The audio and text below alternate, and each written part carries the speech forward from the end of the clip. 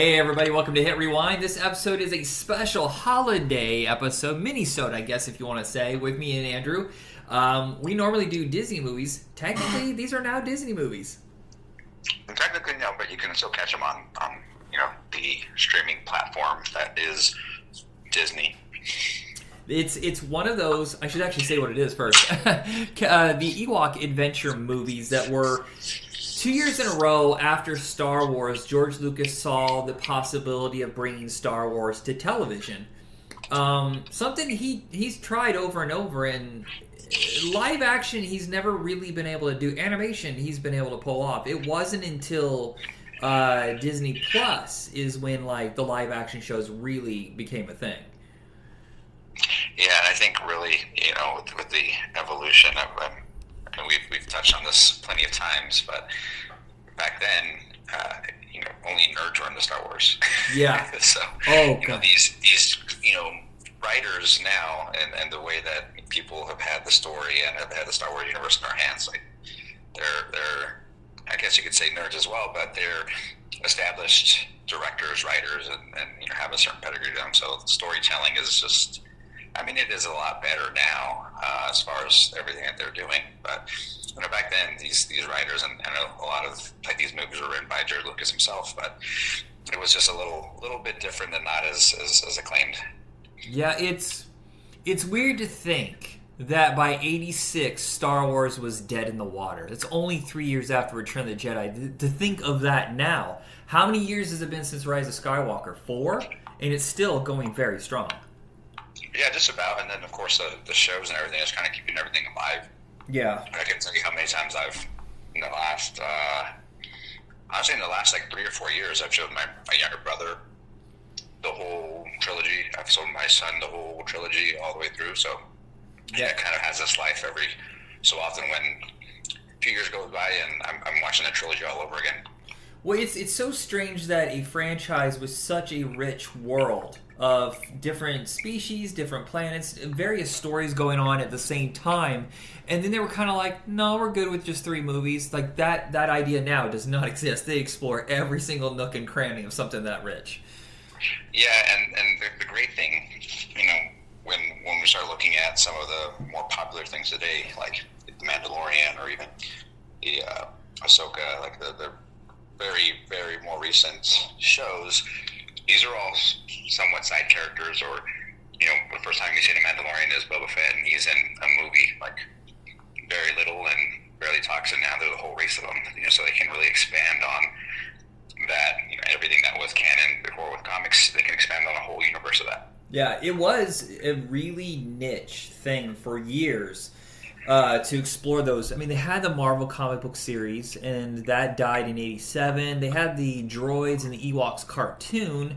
That did a little bit of it, but for the most part, we had to wait till the '90s with like Shadows of the Empire and uh, like there are like these one-off miniseries, like the Bounty Hunter stories, you know, where they're in competition with each other, that kind of stuff. Yeah. But the um, Return of the Jedi is much loved, and I still think it's a pretty good movie. Even though sometimes, as an adult, I wonder why George Lucas kind of. I think he got scared by Empire Strikes Back being too dark and not being as successful, and kind of pulled back and made it more kid friendly. And it seemed like it was really downhill from there. It's just more and more kid friendly as the years would go on until there was like, oh, it disappeared for a while and then slowly started to build back up with teenagers and adults. Yeah, the the funny thing is, uh, I'm a huge like How I Met Your Mother fan, but there's the, that huge theory of, um, you know, obviously with Return, you introduce Ewoks, you introduce you know this whole new species of animal, and really at that time, you know, as they allude to on the on the TV show, the sitcom, you know, the younger kids love that movie because they see Ewoks, they're cuddly, cute teddy bears, so Yeah. you know, a certain age group is obviously um, targeted because of that, and of course, marketability and everything. Uh, but then you have the hardcore fans that didn't really take well to Ewoks. Yeah. so you're, you're, you're two types of uh, original trilogy fan. You're either an Ewok lover or an Ewok like not necessarily hater, but like you don't you don't really like them that much. I'm fine with them. It's I was that right age. I was like seven or eight when the Ewoks really were. I, I didn't get to see Return of the Jedi in the theaters. I was watching these. I had both the Ewok movies taped, and I was watching the cartoons, so I was completely fine with it. Um, but I can see maybe if you were like college age or something like that, and you're like, "Oh my God, Empire Strikes Back! It's so moody and dark and complicated and whatever," and you're like, "What is this?" There's there's a balance of both, honestly, in Return of the Jedi. I wish people would acknowledge that it's for everybody. Yeah, and, and it's it's the you know, and it's hard because a lot of times with these stories, in this type of story or this universe, in, in that sense, back then, this, this was the end. This is the last movie, so you have to you have to end it on somewhat of a higher note, or you know, kind of like the happy happy ever happily ever after ending, in order to kind of satisfy a lot of the fans or a lot of the story because back then, I mean, I, am sure George Lucas wasn't anticipating, no, we're going to make six more movies and TV shows and all this other stuff. So yeah, I don't. I'm not like a hardcore Star Wars fan, but I, I, you know, there was periods where I was really into it. I remember like originally he only wrote outlines for what happened before uh, Star Wars, and that was it. He just wanted a world that was already built, like you were coming in, just like the old serials that you know you're coming into the middle of the adventure and didn't really have any idea of what he would do for a six, seven, and nine. Maybe he had an outline or whatever, but then later he would just he was thinking about it more and more, whatever, and then slowly expanded upon it. I don't think he ever intended on actually doing nine films. Yeah, and and even even when you came out with a second trilogy, it's it's makes sense. It's a prequel. It, okay, you know, kind of how the story of Darth Vader, how he became Darth Vader, and everything like that, which is great to see. I mean, I'm, I'm a huge Vader fan and Anakin fan myself. Uh, you know, one of my favorite characters in, in the whole universe is, is Anakin. Um, so that makes sense. And then, of course, they come out with the more recent trilogy where it's everything that happens after, which is now opens everything up to a whole new world of you know what the possibilities are, what direction you want to go in, and, and a whole new set of characters that we haven't seen before. Yeah, the um, I wonder if there's a whole generation that feels the same way about Jar Jar, the way that we did Ewoks. We're like, for them to like, well, I love Jar Jar. I saw it when I was like eight years old. It's great. I'm fine with it whatever. And we're like, what? But that's probably the same thing with the Ewoks back then. Yeah, yeah, it's for sure. It's like the the whole different type of effect of like, what the heck is this character doing? Is this horrible character? And you know, I, I mean, great thing about uh, you know Jar Jar is it's, it's kind of funny. Well, maybe not great thing, but people have their theories about him being like the Sith Lord and everything. so okay, that's weird. It's, it's, pretty pretty outlandish and weird, but it, it's just you know one of those universes where any any any kind of alien or everything's up to the imagination. Like obviously, yeah. in a universe that are, are most likely aliens or, or, species that you know nobody has seen before, uh, and they, they're going to be prominent possibly very soon or in future projects that they have. So, so this brings us back to uh, the first real spin-off from the whole thing. Yes, there's the holiday special, which of course is notoriously like a head-scratching weird. There's little bits and pieces that are really cool, but for the most part. You can just see like George Lucas is like, okay, this just helps promote the movie, sure, why not? But then like, pulls back. Whereas the Ewoks apparently originally was pitched as another holiday special, and he didn't want to do that again. So you know, it's like five years later, and he realized what a mistake it was. But then he's like, "What about we just do like a full movie expanding upon what we um, have built, whatever, and utilizing the special effects team that we have? You know, keep them employed, keep them going, but not being too expensive." I bet you this was really expensive though for 1984 on television. This looks like a 10 million dollar movie. Yeah, and, and a lot of the special effects, obviously, you set back into Star Wars world, you know, off off world type of thing, futuristic spaceships, uh, things like that, and then even you know they delve a little bit into the claymation uh, with with some of the uh, monsters in the first movie. So, I mean, I, I would imagine it would it was a significant budget in order to get those looking to how people have come to expect at that point, like what Star Wars is supposed to look like and feel like. Yeah, well, apparently they tried some new way of filming the stop motion um, so that it wasn't so jittery. And I do notice there is like a difference between this and say stop motion from Clash the Titans, which was four or three years earlier, where it really seems like not only is it really jittery, but there is a clear separation in the camera where you can see like oh the grainy part with the actor you know and then the smooth part with the stop motion whereas i think they found a way of just like it's almost like plates. You know what i mean? Like when you do a matte shot or a plate shot where you have one thing and you can have the other one right next to it, as long as you don't cross that line it's still believable. Yeah, yeah, and, and well, even just the opening scene uh, of, this, of the first movie, uh, you know, it, it's it's not even any type of claymation or anything. It's just a forced perspective type of shot where, I mean, obviously they probably shot everything separately, but you, you have this monster running through the forest, and you know, it, obviously you can tell it's somebody in a suit. Uh, and then, of course, later on they, they, they delve to the, or they switch over to like the claymation for the second monster. So it's it's it's definitely you know they they're messing around with it, playing with it, trying to refine it. Uh, and you see it two different ways here in this movie. It's funny is I was just watching Batman versus Superman, and I kept thinking that Doomsday could have been forced perspective guy in a really good suit, and sometimes the old effects still work really well. Yeah, and and that's like, I mean, obviously we talked about a huge uh, cartoon following in the Ninja Turtles. Like I seriously think that the first movies when you know it's actors in suits has been one of the best movies as far as the effects and everything like that. Not not CGI, nothing nothing that's too cartoony or that looks fake.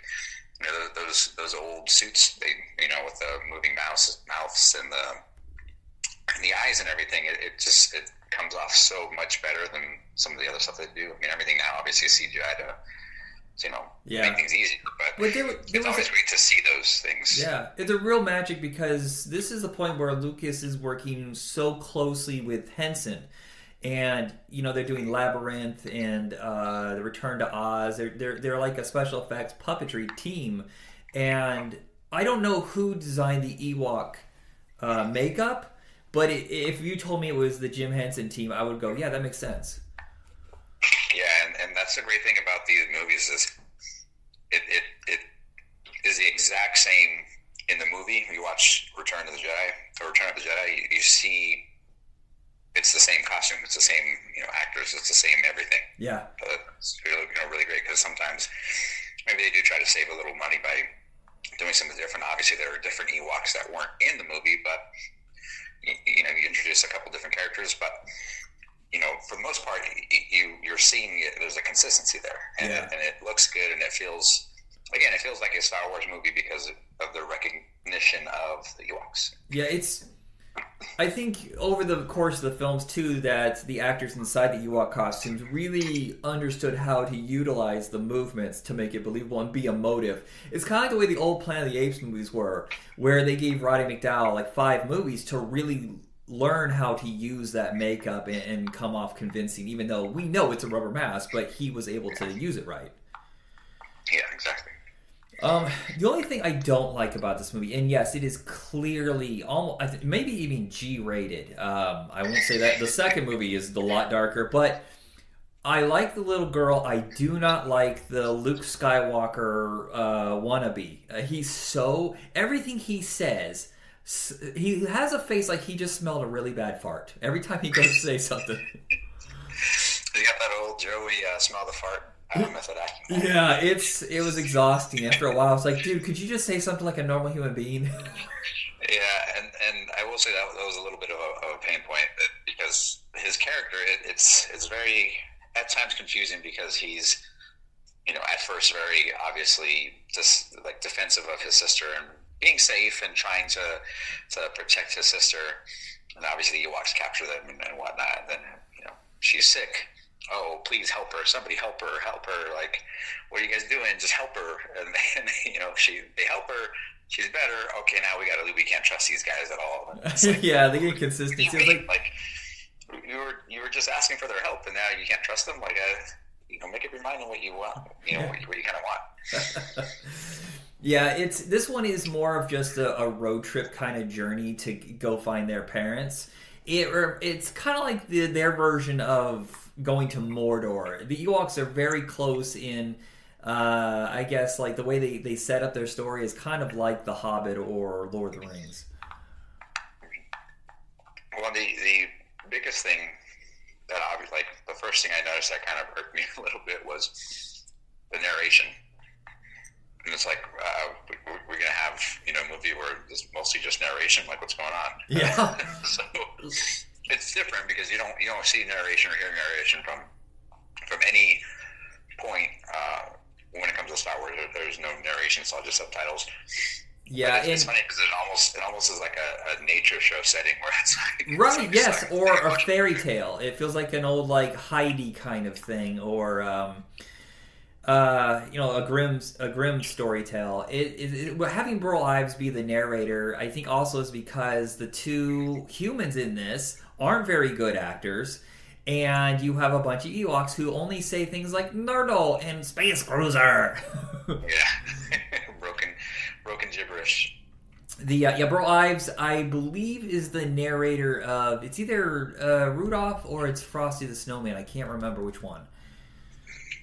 Yeah, I'm not sure, but and both are classics. Yeah. The um, is there any, anything you want to say about the first one before we move on to the second? I mean, it, it story wise, I mean, you kind of see everything. You get you get the Star Wars feel. But it dragged on a little bit, but other than that, I mean, it's it's you kind of have to take it at face value. It's, it's definitely something to kind of keep you into the universe, or you know, trying to keep you, uh, I guess, invested in in these Ewoks and these characters. Yeah. The uh, so the first one I only watched maybe three or four times, and I kind of just erased it with something else. I have seen the second one maybe thirty times. I watched this thing over and over as a, a child, and it is a better movie. And a lot of it is because it, I think they really pinned down on how to do the special effects on television. They got rid of the characters that weren't working, and they got a, a, a better writers. The guys who wrote and directed this, they did Pitch Black and a couple of the Nightmare on Elm Streets, and I think one of the Fly movies. So you can see like they're putting more money into someone with like I don't know, like a more of a voice. Like they, they're bringing, and it's more sophisticated. It feels like it, it's borderline PG thirteen. There, it's wholesale slaughter for a kids movie. yeah, and that, that's the, the funny thing about it. Like, you know, the, these characters that you you have watched in the first one that have been prominent in the first one. I mean, sorry, spoiler alert if you haven't seen it by now, but uh, they're gone. Yeah, and fast. Yeah, it's they introduce a whole other species of uh, p- uh, creatures that weren't part of the Star Wars world, which is interesting because why did we think that Endor was only Ewoks? I, we had no idea how big that planet was. Wait, wait, it's not Endor, right? It's the third moon of Endor or something like that. yeah, it's like a moon, distant Okay. But it is interesting, like they, oh, hey, we have these people here. Uh, I can't remember though. Um, they crashed there, right? They're not, they're not technically from that planet, and they want the power source to get off the planet. Yeah, so I believe you know in the first movie they crashed onto that planet. That's, that's they were uh, separated, and then the second movie is them trying to get off the planet by doing the repairs for the ship. Uh, so the family still wants to able to go back, quote unquote, home, uh, and leave Endor or the moon in order to get get home. So they, that's the, the biggest thing with the second one is those repairs are almost finished, uh, and then everything happens. Yeah. It's it's funny how many people crash there because it seems like ninety percent of the people don't belong there.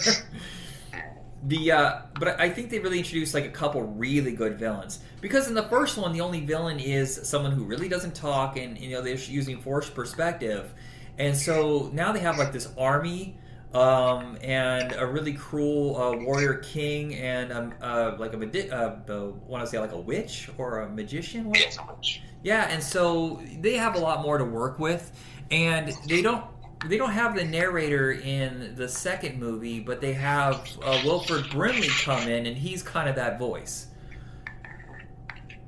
Yeah, and, and that's the, the, the a lot more meat on this bone, uh, if you can say, when it comes to you know somewhat of a battle and struggle. Uh, before it's like, oh, parents are lost, and the monster took them uh, with with not much motivation or anything like that. Now, obviously, you have a whole army that have a goal of, of obtaining this power crystal, or this power source that these this family's using to get off of the the planet. and now you know they've got and stolen this power source and they're using it for what they want to use it for you know evil and, and destruction so it's definitely more along the lines of a, a credible, like, oh, okay, like this is this is the kind of story that we're used to, uh, you know, rather than just a kind of one-off. Yeah, it's it got a little tired. I'm glad they they finally slowed down on it. But with Wilford Brimley being so insanely mean to a human child, he hasn't seen one in who knows how many decades. You think that he'd be immediately like, "Holy crap, it's great!" yeah. yeah. Well, then the, the great thing is I get the same actress uh, who played you know the little little girl. Uh, I forget her name. Uh, Cindel. But you know, have that consistency. Yeah yeah, the consistency in that sense. Yeah, and I love the new characters they add. I love the little speedy guy Teek. Uh, when I was a kid, he just cracked me up to no end. so let me ask you, uh, Michael, if you only saw this, I remember seeing the second one. At, at no point at all when you were younger did you say think like, "Oh, what happened?" or "Why this? Why is this family here?" or anything like that. Um, well, so the first movie was taped off of television, but we missed the first 20 minutes. We were out shopping for Christmas and we forgot that it was going to be on TV, so I never got to see the beginning. So I assumed they had crashed there. But earlier, when I was asking about that, I was wondering where the bad guys came from. Or were they always on that planet, or did they also crash there? Oh, yeah. I mean, that's, that's, that's a good point. You don't really get that at all. Um, which makes you think like, oh, or you know, there weren't any rumblings in the first one or anything like that. Uh, or in Return of the Jedi, you think they would have teamed up with the Empire? Yeah, yeah, exactly. Well, and and obviously we know in a lot of the story adaptations nowadays, you know, they're it's not so much of a like, oh, one side, one side. There's also you know a gray area, I guess you could say, with some people just kind of out for their own. So that's true. Jabba the Hutt established that. Exactly, and you see you see some some of that like on Book of Boba Fett, or even you know like the Mandalorians are like kind of on their own um, with the with the newer episodes. Um, so it's not it's not so just bad guy good guy. There's obviously a lot of gray areas, so it's, it's a possibility they are too. But again, like because the universe is where it's at now, it, it's it's it's hard to go back and be like, oh, what like what can we do here uh, as far as when they're writing everything in the moment. Yeah, you know what's funny is I just realized it was the first thing we ever taped. We had we had got the VCR on that trip. This is literally the first thing we ever taped on the VHS. nice. Did uh, fast forward to the commercials? No, I. Here's the weird thing: is I loved commercials back then, and sometimes uh-huh. this is weird, but when I was working retail and I would come home for lunch, I didn't have time enough really to watch anything except old clips of commercials or whatever on YouTube. Like someone put together like a half hour of commercials from the 80s, and I would just watch those. I don't know why, I just liked them. well, it, it, it, jogs a memory. It's always that, that nostalgia type of thing of, of a kid wanting whatever it is that's advertised to. So yeah, there was there was a couple of cartoons that were debuted after this it was kind of like, hey, tomorrow, Saturday morning, is the debut of our new lineup, and they had Foofur. No one remembers Foofur. And then some, and then there was one about a, a bear in like the bayou, and I don't remember what that was called, whatever. But I remember watching those a bunch too. Yeah, a little, little before my time, but I mean, I, I think my, my earliest memory of, of any kind of cartoon uh, you know, or, or, anything like that is probably like X Men, Swamp Thing, and those, those yeah. types of items. And, and, our listeners should know there's a I think at least a decade between us. I'm set. I was born in '77. You were what? '88. 87. 87. Okay. Yeah, so my world is different than yours. You weren't even born when this came out. Holy crap! I feel so old. yeah, yeah. I mean, obviously, went back and watched. Uh, well, first time watching a lot of it. I knew that, that they were there. Like I said. Um, but obviously these these movies happened before I was even born, before I was even introduced to the Star Wars universe. Uh, but it's a great it's a great expansion. I mean, there, there isn't anything out there that focuses on the Ewoks as much as these movies do. Yeah. So it's always great to see and kind of revisit that, or, or see that this these uh, the species has a life outside of what they did, which was you know help the rebels uh, defeat the Empire. Yeah, and I thought I thought the final battle was really uh, good. It, it's something like the, someone really focused on. Okay, well, this is a kids movie, but let's let's bring some of that Return of the Jedi, you know, that that battle they had on the planet, that energy to this movie. Yeah, yeah, and, it, and it's uh, of course, you know, at this point, probably we are under the understanding like this is going to be the last last one, so we got to have the the cookie cutter ending in a sense where the good guys prevail. Yeah, and and it did continue after this, but they ditched the whole, you know, human part when they did the animated series. So it's the two movies, Yeah. 84, 85, and I believe by the time this aired, they were ready to go with the cartoon. So it was always like, I think at 11 o'clock, God, why do I remember this shit? I can't remember the name of my own family members. Uh, but I, I, it was always uh, Ewoks first and then droids. And both of them really expanded upon the universe. And there was even comic books of this, like their own, not Star Wars. Ewoks and droids had their own comic book lines.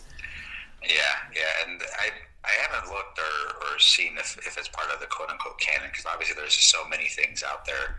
Uh, when it comes to the Star Wars universe, that officially Disney's not recognizing as canon or anything like that. Yeah.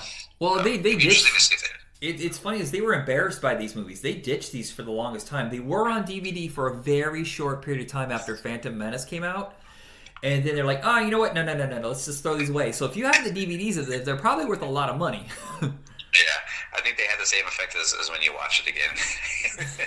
you watch the first one and you text me like, "I'm so sorry, dude." yeah, but then I watched the second one. I was like, okay, it's not that bad. But the first one, I was struggling.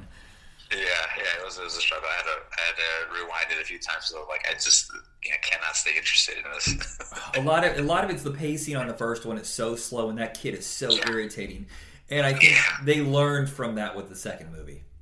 Yeah, and it, and it's great because obviously the the the conception out there is a, the sequel is never you know, as good as the first one, and in this Yeah. instance, that's, that's not the case. It, the storytelling is better, the overall arc is better, the graphics, uh, you know, special effects are better. It, it is a better movie than the first one in this sense. Well, yeah, and what they have to go through that journey. They both grow up. They're forced to grow. Wicket jumps light years. He's like a baby in the first movie, and then he feels like he's in charge, for, you know, to protect Cindel in the second movie. And I think the the um, the risks that they go through are higher too. Yeah, and of course it's it's it's one of the last times you see in the universe anyway for now, like in, in Wicket, or you see any of the Ewoks in there. Um, but it, it, it'd be very interesting to see, obviously, with with everything they're doing nowadays, if they plan to revisit or decide to revisit that species or Wicket and everything. Yeah, Obviously, or- the actors are a lot older, You know, Cindel, she would be like my age. You know, now she could be pilot or whatever, and she goes to visit the Ewoks like a reunion. Just have it as an off thing in, in like a, a mini series, like a four episode kind of like Return to the Moon of Endor or something. You know? Yeah, and that's I mean that's a great thing about the Star Wars universe and it, where it's at today because those possibilities are there. The possibilities are really kind of endless when it comes to everything. I mean, I, I can tell you, you I've, I've, I've watched uh, the Clone Wars, the cartoon animated series. I've watched that whole thing through. I watched a, a good amount of Rebels, but I, I, you know, can sit there, you know, two or three years ago and tell you, like, I don't think they'll ever make uh, live action like you know, Ahsoka character. I don't think Yeah. they'll make a live action Rebel. You know, all these Rebels characters they start seeing. I mean, I, I, I can't tell you how excited, uh, even though they did them, they did them dirty. I can tell you how excited I was to see Cad Bane like show up, like I- live action. Like, oh man, this is awesome! Like this is this is when, like you know, things are going to get real now. Um, so it's it's really nice to see that, especially being a fan of these animated series or these these um, series that were on TV for so long. You know, a few you know, few years ago, and now you're seeing the live action adaptations of. It's great. It's it's good to see. Now, have you ever seen the actual planet Endor in anything, or is that still a mystery? Um, I, I have not. Uh, usually, uh, I mean, the, the, the whole Clone Wars um, series was all still that's that prior to Order 66 going on. So it happens in between um, the movies Attack of the Clones and uh, Revenge of the Sith. Oh, okay. I was just curious because I wonder when he leaves the planet, does he go to Endor? Like that ship didn't. I mean, it's running, but I can't imagine after decades of sitting there that it's working that well. He probably had to get another ship or some repairs. Yeah, yeah, no idea, but um, I, I haven't seen it in, in any other. Um, there's obviously video games where they explore worlds that are similar to it, or you know, other other worlds that are uh, like. I, I played some of the Jedi Survivor and and um, this Huts game that just came out, which it, it's it's a cool expansion. You see other worlds, other planets that you've never seen in any movies, and the habitats and different animals and things. But yeah, as far as Endor, I have not seen anything. Uh, okay. Have not seen it uh, anything else. But. All right, everybody, that is the end of this episode. Uh, we'll be off until the spring. We'll be back with 1997, kids. Bam. Have a happy holidays, everyone. All right, thank you. Have a good one.